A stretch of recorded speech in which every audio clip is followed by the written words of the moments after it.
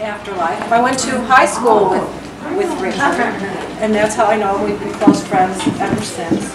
Um, I read this book, and it was great. And I love to read about things that have more to do with stuff other than what we know right here. And um, Karen, could you speak up a little? yeah, sorry. Reading this book, there were places in it where it just kind of like opened my mind, you know, and I believed anyway. I believed before I, I, you know, read this, and I knew what he was doing. Um, but that's this, but let me tell you about him. He's a filmmaker. That's the main thing that he does. He's made four feature films. Well, I'll just talk to you about the nature of this research and how I came to it. Basically, um, how many of you here have heard about past life regressions? Everyone's heard about that. Has anyone tried it or had one? Okay, you, okay, very good. Brian Weiss, you know, is the, the famous Yale psychiatrist who uh, came upon this work and, and started to sort of really um, use hypnotherapy to uh, help people with psychosomatic illnesses. In my case, I'm a filmmaker, I'm a documentary filmmaker, and I was in Tibet uh, making a film with Robert Thurman, uh, Uma Thurman's dad. And uh, partially because of events that had happened to me prior to my becoming interested in this material. And basically, about 1996, um, my girlfriend and closest pal on the planet uh, passed away from breast cancer.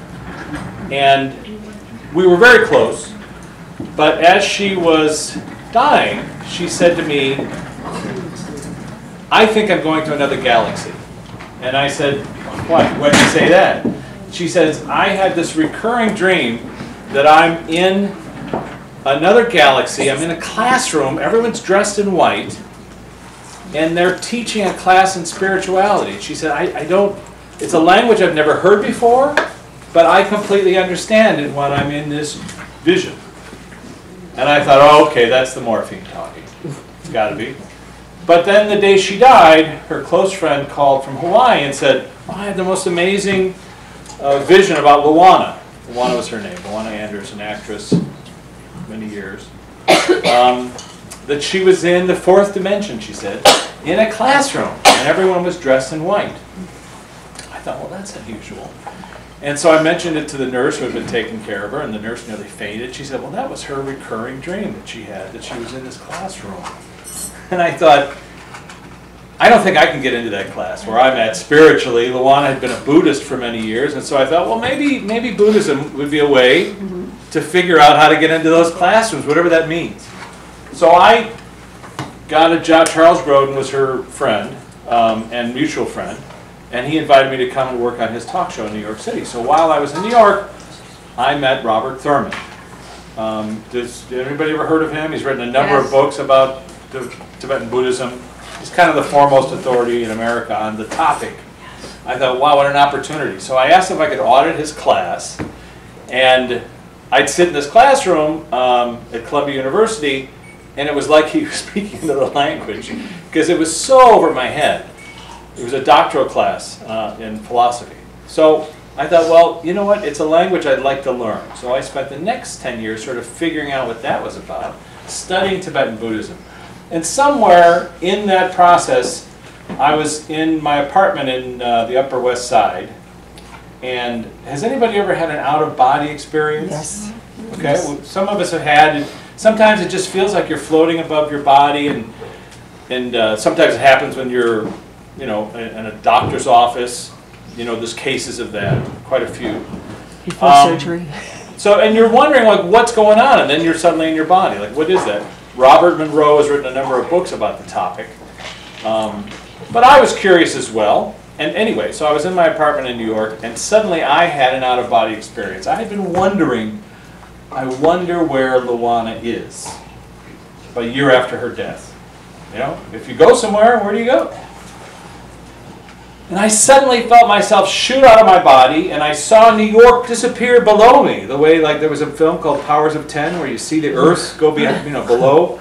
And I was shooting into outer space as fast, so fast, like a neutrino, apparently, because light was sort of melting around me. And then I found myself going through some kind of a wormhole. I, that's all I can say. That was just like bouncing around. And then I felt myself on in another place, another galaxy, I guess, but moving sideways now instead of going forward. And when I stopped, she was standing there with her eyes closed. She opened them and looked at me. And I thought, oh, this is really bizarre. And as I thought that, somebody honked a horn outside my window. Truck horn. But the weird thing was, before the guy finished the honk, I traveled backwards. Back, you know, almost like a string, pulling me like a rubber band, and into my body. And when I woke up, I was startled, needless to say, like, what the heck was that? And so you normally, when you have an out-of-body experience, you just chalk it up to something odd. But in my case, I went, it either happened or it didn't. If it didn't happen, then it's not worth examining. If it did happen, then what is the mechanics? And can I go visit her on, on my own? If she exists in this other galaxy, let's say, is there a way to find her? So I was, I won't go into the long, you know, I'll go to the short of it. I, during the course of my research, I discovered um, this author named Michael Newton. He's a doctor, hypnotherapist, practiced in Los Angeles from the 50s on. Like Brian Weiss, he had a very similar experience where a patient had come to him with a psychosomatic illness, a pain that no one could figure out what it was. Under hypnosis, he said, Take me to the source of your pain. Now, I must add, Michael was a skeptic, didn't believe in past life regression. Uh, it was right around the time of Bridey Murphy.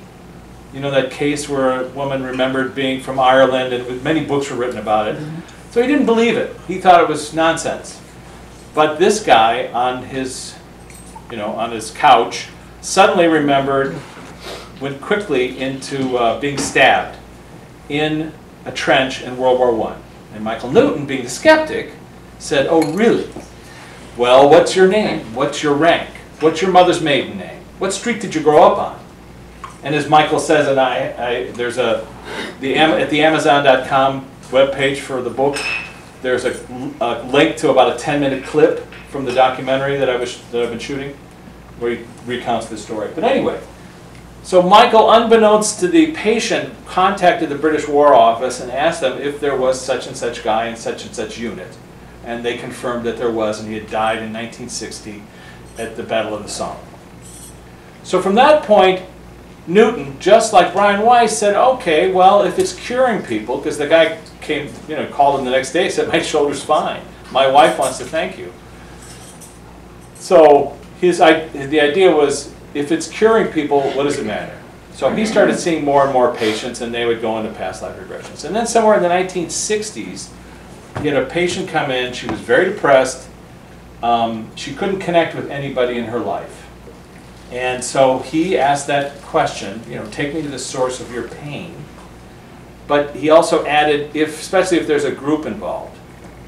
And as Newton says, it's like a trigger word if there's a group involved, because apparently, as I'll point out, we live between lives with, in groups. Okay? So this woman says, Oh, I see, I'm with my soul group. I can see them all. And, uh, and we've agreed that in this lifetime we wouldn't be together. I see. Okay, I have no problem anymore. And Michael Newton said, What are you talking about? And she said, Because under hypnosis, if, has anyone done hypnosis? Yes. So hypnosis is just like meditation. You're never not conscious. Not like quack like a duck stuff you see on stage, you know, that kind of television thing. You're just like being walked through a path, so you're fully conscious of what you're saying and seeing and experiencing.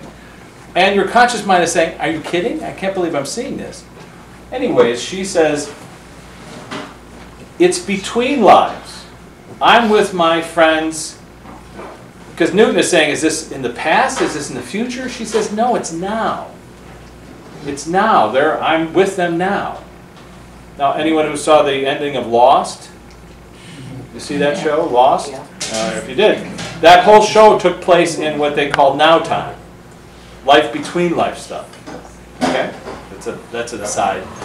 So Newton closed his practice because he was so kind of startled by this and he decided that he had to study this. And he closed his public practice and for the next 20 years, he only saw patients and clients who could take him to this place. And there, and then under hypnosis, he grilled them like, you know, uh, like a school teacher to find out the structure of the afterlife. Okay? So he wrote his first book, Journey of Souls, in 1996. It came to me in a very unusual way, which I outline in the book. But I opened it up, and there the first case was somebody saying, and then in my, you know, between lives, I see that I'm in this classroom, and everyone's dressed in white. And they're teaching this class on spirituality. Wow. So I went, oh, okay, this is interesting. So I started to read, and I read, he's written three books, four books now. Um, and then I thought, as a filmmaker, well, this is an interesting topic.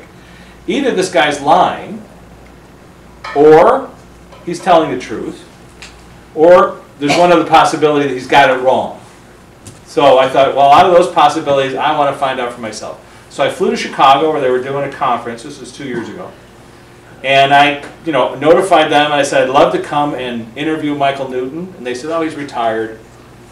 But bring your cameras. You can film our conference. And I, really? Oh, that's nice. Okay. So I flew into Chicago. I met Michael. He liked me enough to give me the last interview he said he's ever going to give. So I filmed him for you know about an hour, and then I filmed his wife because I wanted to know if the things I'd read in his book were accurate. And by asking her these questions, I could, like he said, he never went into a bookshop from once he started the research because he was afraid some title of a, of a book would influence his questioning because he was so relentless in his questions. And um, and then they let me film people under hypnosis. And uh, I filmed like maybe a dozen people, and then they said at the end of the conference, "Why don't you try it? You can film yourself." And I thought, "Wow, that is a fantastic opportunity for me to disprove this. Very easy. I can sit there. No one's going to guide me and lead me anywhere. And if I don't see anything, I'm going to tell them I don't see a thing." I'll be danged if four hours later, because these sessions are four hours and five hours long, I went down the same path everyone goes down. 7,000 people over 30 years said the same thing about what happens when we die, where we go, who we see. The process is the same for everyone. Which is? So, which is? You have to read the book. Just Yeah, yeah, yeah, yeah, yeah. So, so The that, so it's a synthesis, because of Yeah. course, as we live our lives, we could say everyone has, we're, we're born, we live our life, we die, however that happens, they're, they're the same, but everyone's different. So you have a different shade of experience, but the, the milestones are all the same. And it's this, in a nutshell. And I'll just tell you, here's the process. I'll, I'll give you an example of a four-hour session, and then you'll, you'll see what the process is. The first half hour is a sort of deepening thing where they just talk to you, they sort of guide you into a place that seems very comfortable. Might be a beach somewhere, lounging under a tree. And then you start to go back into your own life. So go back to when you were, usually they'll stop around the age of 11, which they did with me. And my experience was, this is interesting, I can see my house as it was in 1966. I can see the car in the driveway, the make of the car, I can see the car across the street. It's that year. Uh, I remembered cutting my finger and the blood coming out of it. I was playing with an axe. And so I went to this moment, and then I saw my father, who had passed away, in the driveway coming out to help me. And the emotion of seeing him and feeling that he was there. Very powerful. Of course, I'm in my own mind, I'm in my own head. It's a memory that I have, I'm just accessing it. So now they go back, back, back, back down to the, to the earliest time that you can remember. And they said to me, this hypnotherapist said to me, let's go to your first memory. And I said, I'm being born. And I saw in my mind's eye this, you know, flash of light, bright light. And then, as clear as a bell, as clear as I can see your face, I saw this doctor's face looking at me. He had the, you know, the white cap on. He had the, the that metal thing they used to wear in the 50s. He had the mask here, hazel eyes, clear as a bell. Now, what was weird is that I know he was doing this with his hand. So he's holding me by my feet. But I was looking at him upright. Uh-huh. It wasn't like I was looking at him this way. Anyway, I then said, My father's not here. He's on his way here. Now, I didn't know that as a detail. Later on, I asked my mom after the session, Where was dad when I was born? He was driving there. Then they say, Let's go back through a tunnel, let's go down through a stairs, however they say it. And now we're going to go to a previous life that has some profound influence on this life. Um, and I was not going to go there if it wasn't real. So I didn't see anything. And I said, I don't see a thing. And he said, just look down. And when he said that, I looked down and I could see my feet in a cold river. And then as it sort of pulled back and I could see that I was dressed in buckskin, and then I could see the feathers in my hair. And I said, oh. I'm an American Indian. But I also consciously am going, I'm a screenwriter. I, you know, I know how to write a movie. And then I was like, so I was arguing with myself while I was, but one of the admonitions they say is just don't edit. You can always talk about it later. So I was doing my best not to do that. And then I saw a whole life of this American Indian all the time thinking I'm, you know, Dances with Wolves. This I said that my name was uh, Watanka, and I thought I was like Tatanka means bull. Why would I say Watanka? And he said, "Can we see your tribe?" I said, "No, they're all." Oh, and then I saw that they were all dead. And I opened up a teepee, and I saw a woman laying on the ground with her throat cut. And I started to sob, and I said, "My wife is dead, and they've taken my boy." But the emotion was there, and I was thinking to myself, how can I be so connected to this thing if I'm making it up? I was crying, you know, I was feeling it, like, ah. Anyway, and so then what they do is they go to the last day of that life, and they, they ask you to describe, describe it. They say, go, let's go to the last day. And so I described killing myself, drowning myself in a big river. And he was there saying, oh, you know, how do you feel about this? And I said, I just want to go home. You know, and as I said it, I was like, what? And then I felt myself racing, and I'm just saying this is what everyone says. You race back to your home base.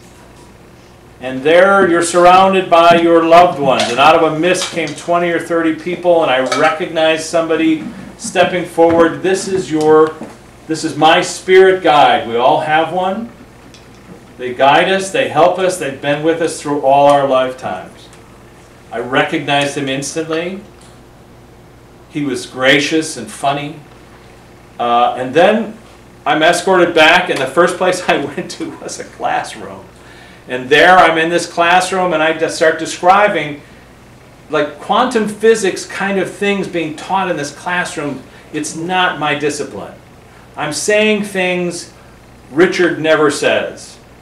It's all in the book. I'm downloading just chunks of paragraphs. So when I transcribed it later on, I had to, you know, it took me days. What? about energy and energy packets and how past lives travel with us in kind of engrams that are in, in sort of fractals. They're geometric shapes that can contain all the emotional energy of previous lives. I'm saying this.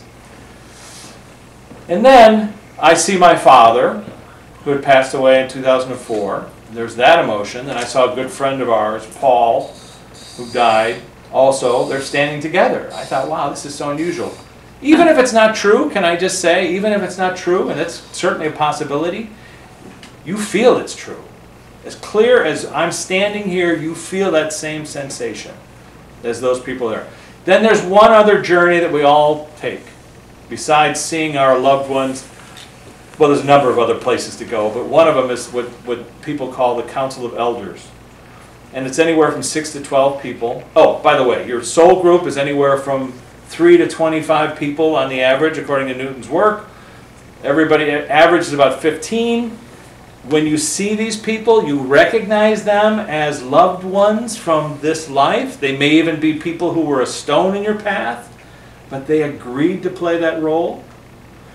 With that soul group, we actually plan our next life together. They may play the alcoholic parent because you asked them to. They may play the soldier who kills you because you asked them to, because you want to experience it. They may ask you to play a difficult role in their life. And you, may, you can say no. There's free will. You can say, I don't, I did the alcoholic father when you were a Viking. I'm not doing it. you have permission from yourself whether to do it or not. And then at some point you go to see a council of elders, as they're called, the wise ones, the wisdom makers. Everybody sees them in a different way. Sometimes you see them in a grove, and you'll see in the book, I interviewed numerous people. Each one saw them in a different way. In my case, I saw eight people in front of me, one person speaking, and I was there, and you, you ask a series of questions. And before you do one of these sessions with a Michael Newton trained hypnotherapist, you bring a list of questions if you get this far.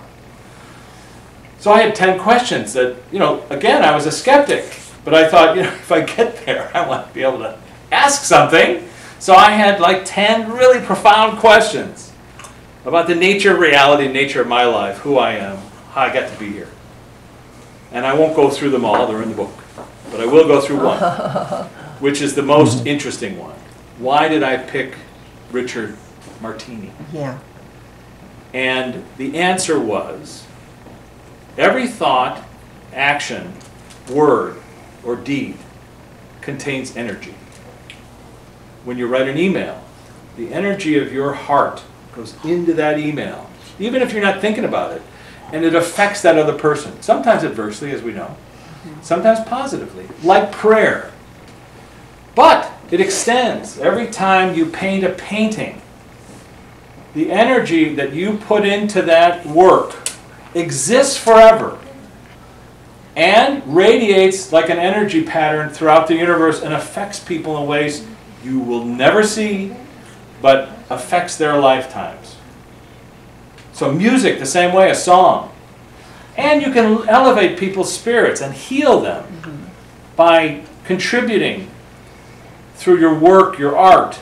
And in my case, I chose to be a filmmaker because I said the healing energy that goes into filmmaking can change a person's life. A belly laugh in a theater after you've gone through a tragedy can instantly change where you are on the planet. I said, tears do the same thing, it's just a different process because you have to go through catharsis in order to get to it.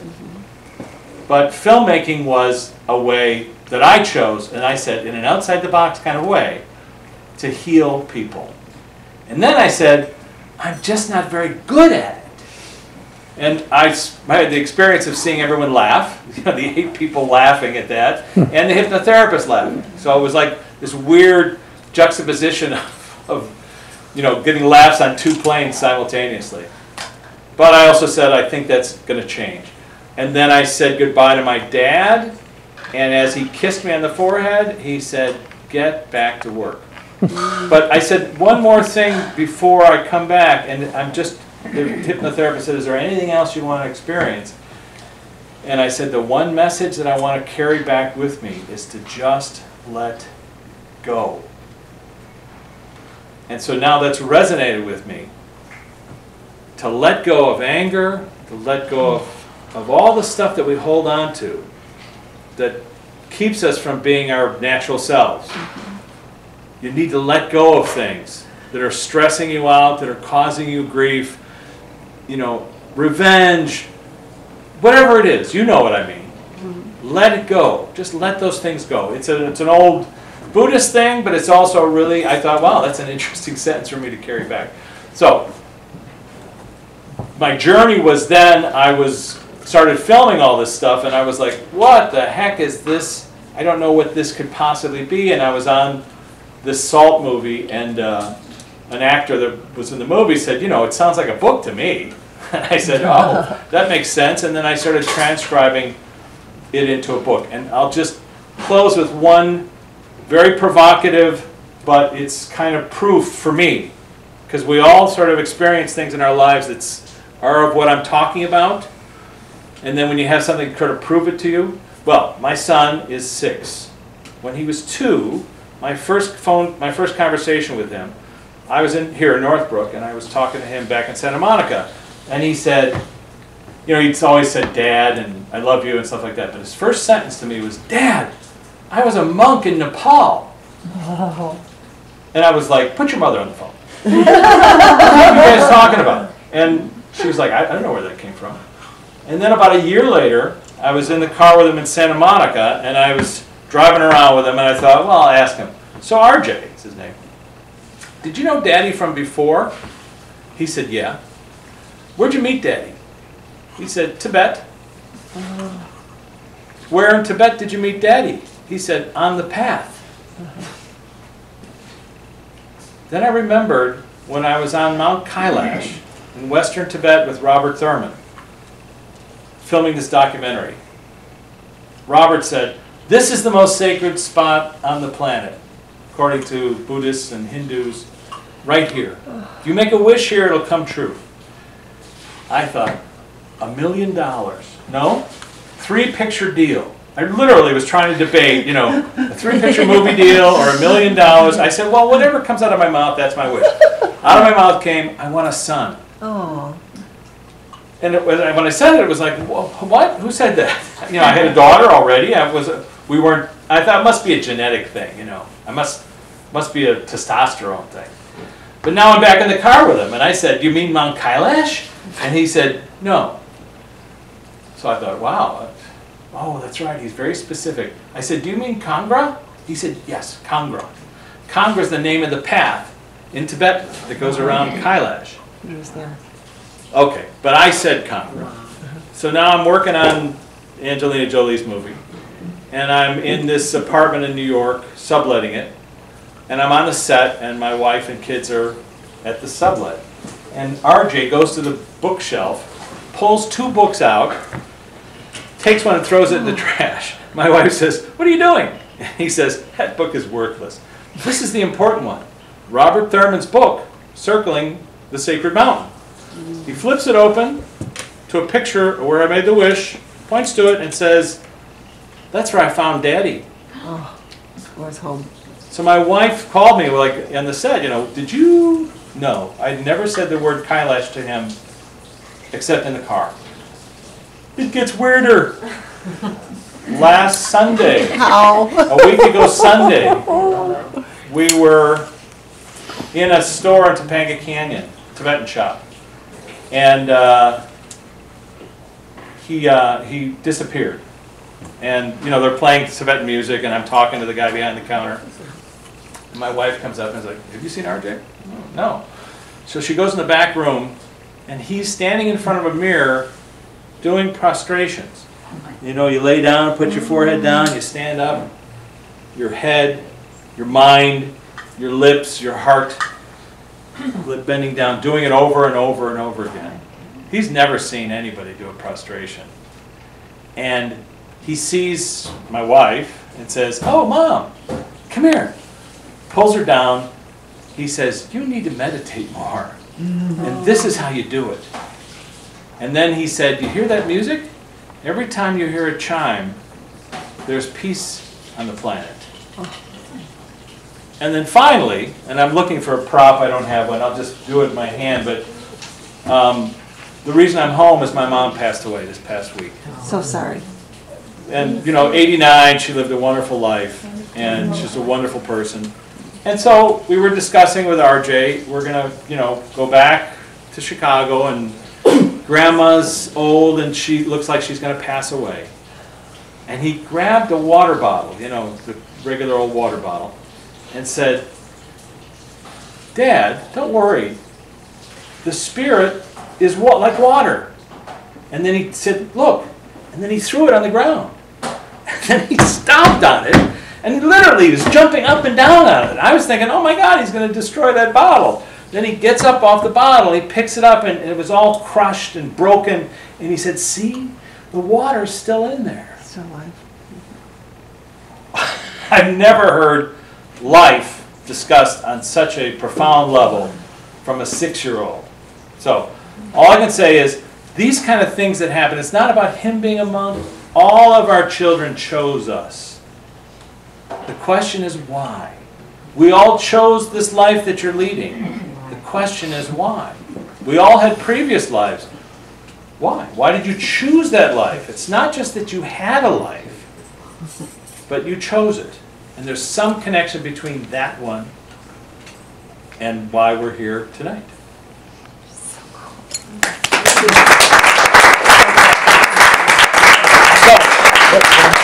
I went, but we, any questions before we get into the rest of the evening, or? Just amazing. Great story. So, the book's, uh, it's, you know, on Kindle, you'll get a kick out of it. Like I say, it's, it's my journey, which I just told you, and then it's transcripts of actual sessions, actual people that I filmed, you know, people, some that I knew, some friends, some studio executives. I just decided I could take anyone off the street, if it's true. I could take anyone and get the same results. And I have a really well-trained hypnotherapist in LA, really cool guy. Costs about four hundred dollars to do this four-hour session. Not too much to see why you're on the planet. But uh, I, all I can say is everyone has the same experience. And when I, you know, I'm sitting there with my camera filming it, and they get to the point where they say, you know, I'm here with my spirit guide, and he's saying, and I'm thinking to myself, wow, it never gets old to me. It's just a fascinating topic. I highly recommend, if you're interested in the topic, um, the guy who writes the foreword to my book is a Harvard PhD. He was also the head of a Yale Medical School, and he's done a lot of work in um, in studying psychics and, and what they're about. But as he puts it in the foreword, because you know Richard's not a scientist by any stretch of the imagination, but sometimes self-science is where great discoveries can be made. What's the name of his book? I, I can't think Sacred it. Promise. Sacred Promise. Yeah, he's got a few. Thank you. It was fascinating. Really.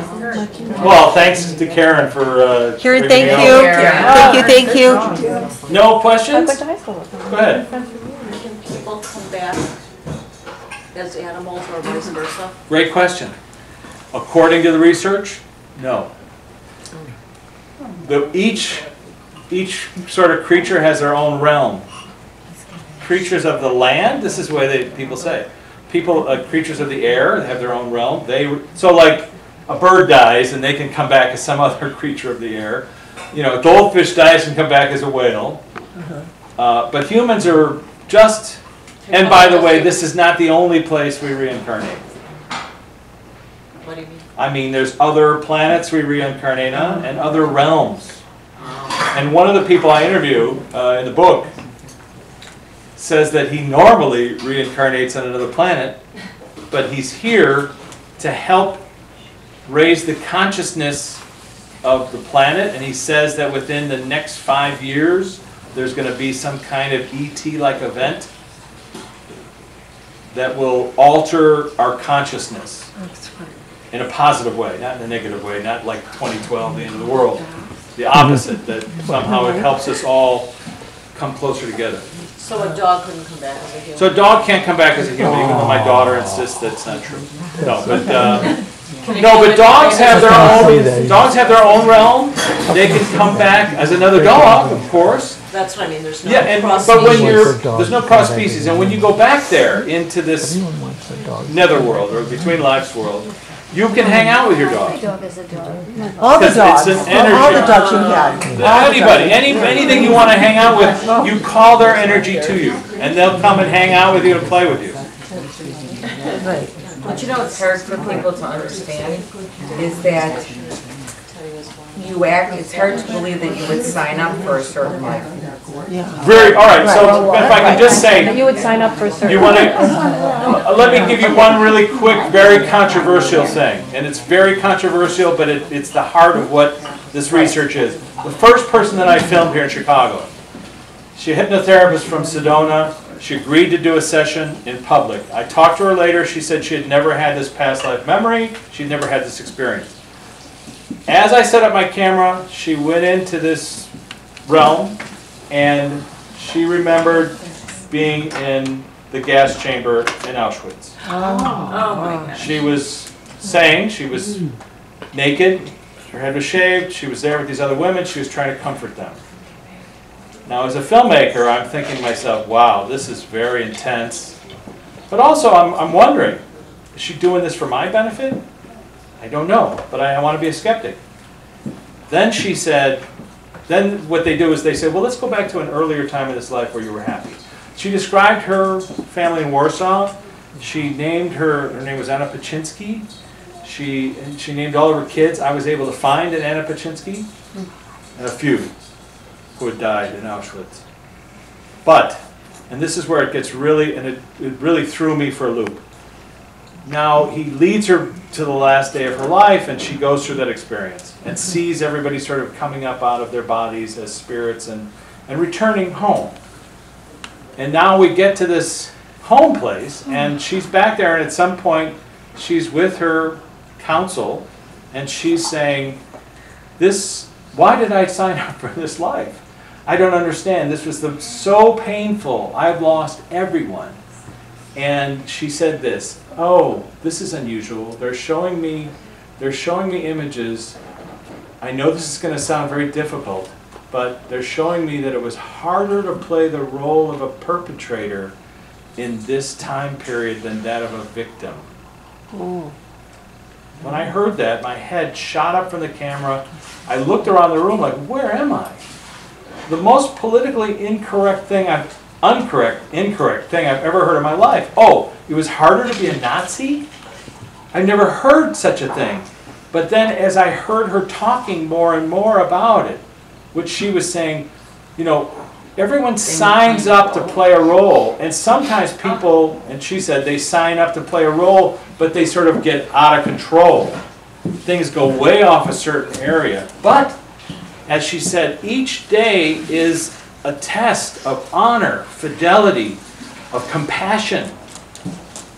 You know, we experience the Holocaust on one level as this, of course, unbelievably difficult event. What she was saying that on her day-to-day basis, you experience things in a day-to-day way with different people being helping or not helping. And you could also say, I mean, just through the research, because there's people, you know, in every country, in Cambodia, in China, and all across the planet through the many eras we've been through that have suffered in terrible, terrible ways. And so I had this dialectic argument with a Buddhist monk who said to me, Are you saying that I would sign up to be an HIV baby in Africa, born in, in poverty? Because they believe, you know, that you go your past life karma dictates who you're going to be in the future. And I said, which one of those words is a negative? Because when you examine it from a compassionate point of view, and usually they find, this is what they say, is that people who sign up for a difficult role, really difficult role, they're, they're, they're older souls. They feel like they can handle it because they have to then bring compassion out of other people. The doctors that are helping them, the nurses that are helping them, the people that are donating. All of that stuff brings out of them, helps them to learn how to be compassionate. Listen, I know it's controversial, I know it's weird. All I can say, is that's what the research, that's what people say over and over in the research that and also that between lives there's no hierarchy. It's just younger souls and older souls. We're all equal. And we drop our karmic baggage here when we leave. We go back there and we're pure and happy and whole and healthy and connected. And we see the healing light of the universe through everybody. And then with our friends who they report great sense of humor, laughter. You are the one who punishes yourself the most to say, God, I really screwed that up. I really wanted to do those things in my life and I never got around to them and I was going to help people and I didn't do it. And then they tease and mock you and go, oh, come on, don't you remember you did all that stuff for all those other people? And they point things out to you. Anyway, so, go ahead. Okay, can I ask the question of a skeptic? Sure, please. Absolutely. In the beginning of your talk, you mentioned the person who recalled his life as a World War One, Yes. okay, with the pain. And you said that the World War One person passed away in 1960. 1916. Oh, excuse me, that makes, okay, now. Yeah, yeah, no, that would be. Okay, so, so- right. Oh, well, I I'm the was- same So way. my head was like, My, mine was the same way, is every detail that I would hear in a session, I would then try to research it, back it up, find the case, whether it was true or not. I also found in my own research that, you know, sometimes things didn't pan out exactly as somebody was saying. Myself, I saw myself cutting my finger, but I was cutting the wrong hand. I remembered the wrong hand. When I came out of the session, I went, oh my gosh, that's the scar. But I remembered this finger. So it's like, and let me, let me, I think I understand now why that's the case. Memories of previous lives don't exist within our genetic structure. They're not in our brain. They're not chemical patterns that we've created. According to what people say, they exist almost like energy patterns outside of us. So when we're remembering a past life, you're accessing this thing over here, the memories of it, and translating it through your mind and through your experience. So it, by nature, it would feel foreign, because it is foreign. It's not part of this life. But once you experience it, once you see it, once you go through it, then you own it. You, you feel it. Go ahead. In response to that, there's a gentleman I see at at the health club every day, and he believes in, in everything you're speaking about. And he said that the best thing to do is instead of questioning it, to accept it and just say, that's interesting. And then see how it applies to you later, if it comes back to you later. But just to go, that's interesting. Well, in my case, when I, you know, because I'm not, I'm not trying, it's not a philosophy and it's not a religion I'm, I'm trying to espouse here. I'm just saying, this is my, this is my research. Mm-hmm. But when I talk to people about it, and this was fascinating to me, that when you're in a life planning session, you plan with people key moments in your life. Marriage, for example. So when I meet a couple that's married, especially if they had kids, I say, describe to me the moment you met. We did that a little bit earlier. And I've done it so many times that you can actually hear there's an otherworldly moment. You know, people say, I felt like I always knew him. Uh-huh. I felt like I was going to marry him the moment he kissed me. There was something about his voice. It's almost like they're speaking in past tense. One friend saw her husband being interviewed on television and went, That's the man I'm going to marry. Now he thinks it's because he's cute and funny and charming, but she was speaking in past tense. Event that she already knew was going to occur. You hear it all the time in your life.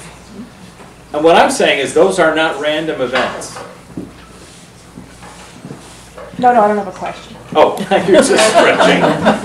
Go ahead.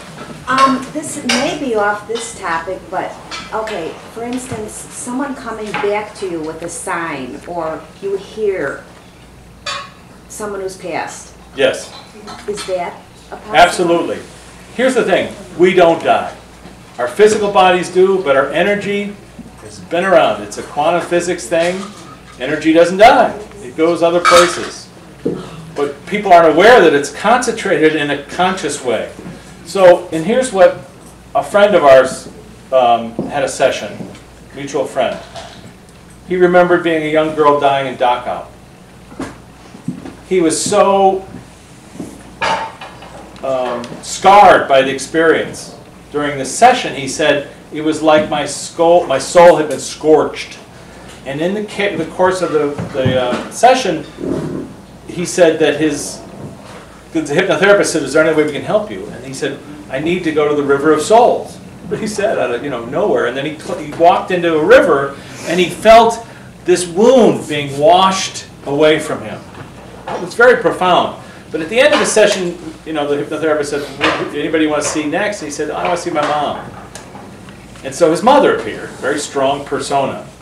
And she said, son, when you need to contact me, it works just the way a cell phone works. Because a cell phone, we don't know why a cell phone works. We, we can't see the waves. We just know that if we push these buttons, we'll reach our loved one. And we put it to our ear and we can feel the emotion and hear our loved one's voice. My cousin was here in Chicago three days ago. His mom died last year. He knows I'm talking about this stuff. He pulled me aside. He said, I had the weirdest dream last night. He said, I was in a room full of people, and all these people were partying, and somebody on the other side of the room said, Coin, that's his name. The phone's for you. He was like, what? Who's that? Telephone. And he walked over, picked up the extension, listened. It was his mother's voice. as clear as a bell. How you doing, Coin? Just the way she talked. Well, I'm fine, Mom. How are you? I'm fine. How are you? That's the way she talked. And just the intonation and everything. And then he said suddenly the line went dead, and he put the phone down, and everyone had disappeared. But that's the way communicating with someone. So they, the easiest way for them to enter, to give you a message, is to enter a dream. Because they can match your energy in your dream, and they can place themselves in your dream. So when you have a dream that seems profound, please don't ignore it. Write it down. Ask people around you, does this mean anything to you? It might be for somebody else. You hear a message, you hear a word, lottery numbers, please call me. but you hear something, don't ignore it. You can't ignore it, of course. Maybe it's not your destiny to know about this stuff. That's very possible. But write it down, see if it has any resonance with you. My father passed away in 2004. I've told my brothers this story. They look at me cross-eyed. But the night he passed, I felt his hand on my shoulder. He woke me up and he said, I'm experiencing indescribable joy. So the next morning I said to my mom, you know, did you ever hear him say talk like that? No, very rarely, but he, that was a word he used about something that was so beautiful. The next night he woke me again. Dad, you're waking me up. And he said, I need you to write something down. Now I'm hearing it like here. Okay. Turn the light on, get the paper, pencil, I, you know, turn the light off. Is he still there? Yes. I'm here with, I'm here with, and he named all these people, many of whom I never heard of. My mom knew who they were. Uh, I love you, blah, blah, blah, blah. It's beautiful here. And then I need you to write a note to your brothers. And to each brother, they got a note from him. I, I didn't understand what the note meant, didn't mean anything to me. And then I said to him at the end of this kind of profound thing, Why are you talking to me? And he said, Because you can hear me. So all I can say is, you know, I could have made it up. It's very possible. The notes were pretty specific to each of them. They understand them. I don't. And all I can say is, just pay attention to this kind of stuff because it's uh, it's there for a reason. And that's it. All right, thank you. All right, now I get my glass of wine and listen to the rest of